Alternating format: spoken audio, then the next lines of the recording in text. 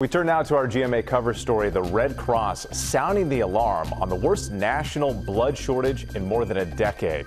Will Reeve has more on what's behind the crisis and how you can help out. Will, good morning.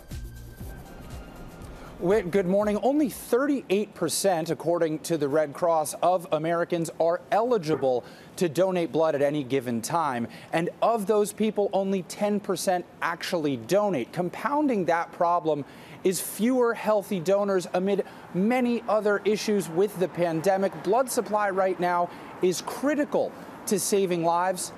You can help.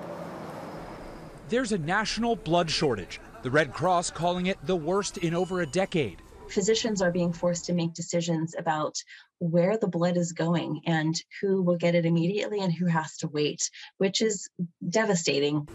The Red Cross provides almost half of all blood to the U.S. Blood required after a major injury, surgery, or other issues.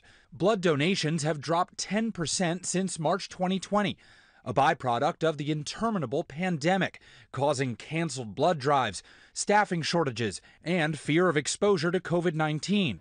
Blood is a life saving therapy. It, there is no alternative, and it cannot be manufactured or stockpiled. 11 year old Draylon Holmes often needs blood transfusions for severe sickle cell pain.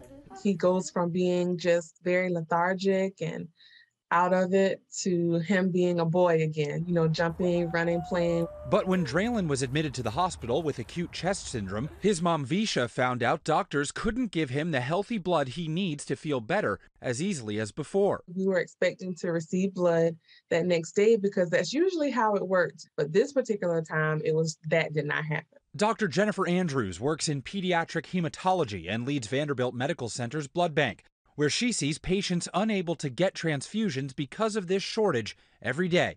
Because of this blood shortage crisis we're in, I don't have a choice and I have to make them wait for their transfusion.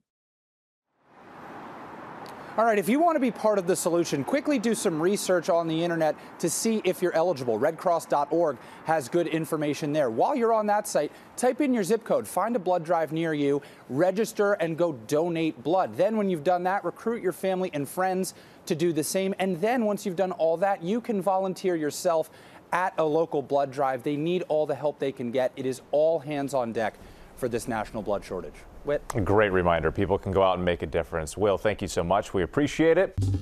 Well, hey there, GMA fans. Robin Roberts here. Thanks for checking out our YouTube channel. Lots of great stuff here. So go on, click the subscribe button right over right over here to get more of awesome videos and content from GMA every day, anytime. We thank you for watching, and we'll see you in the morning on GMA.